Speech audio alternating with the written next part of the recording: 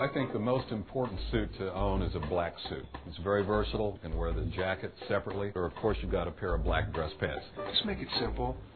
Classic, sophisticated, and black. I think some guys are into navy, some guys are into black. Black, navy blue, big debate for the first suit. Many men choose navy because it's like a deep midnight, and I think it's going to serve you in the same way. Once you've got a black suit, then I think it's it's nice to get some fancy stripes, some dressy stripes, just to have a little more variation in your wardrobe.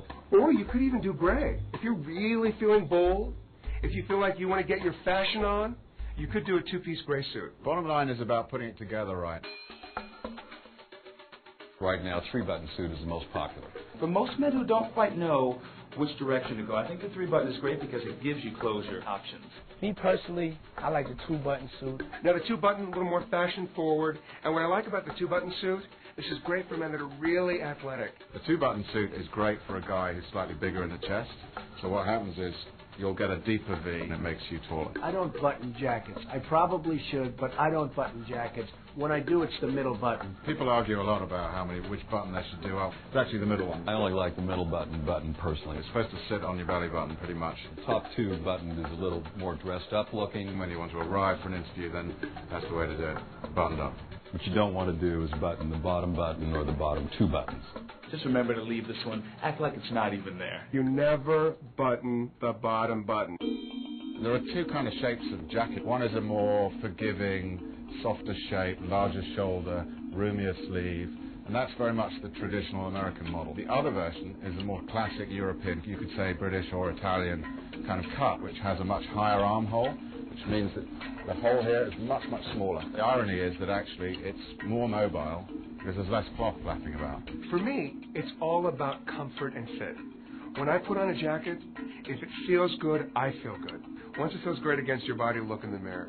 And you want to make sure that the shoulders sit nicely against your shoulders, that it doesn't buckle in the back, that it doesn't look too boxy. If your suit fits properly, it's going to look more expensive and have you stand up a little taller, if you will. There are two rules of thumb for the length of the jacket. You know, one is about an inch below the break of the seat. The other one is that right where you cup your hands, it should hit right there. Generally, your sleeve should sit just about where the beginning of your thumb joint is when your arms are like that. Obviously, not when it's like that or like that. The debate about pleats and triple pleats, single pleats, no pleats, flat front uh, has raged as long as there have been pants, basically. I've never been big on pleats. I like flat. Those flat front pants are going to lean you out just slightly to the eye. And also, ladies prefer flat fronts over pleats. I'm a pleat guy. I like to have a little bit more shape, a little bit more contour added to my pants. Now, to cuff or not to cuff, that is the big question. When you have the double pleated pant, you definitely want to cuff. Now, when you have the single pleat, you have the options. You can cuff or not cuff. Now, when you go for the flat front, look at this. The flat front, you never want to cuff.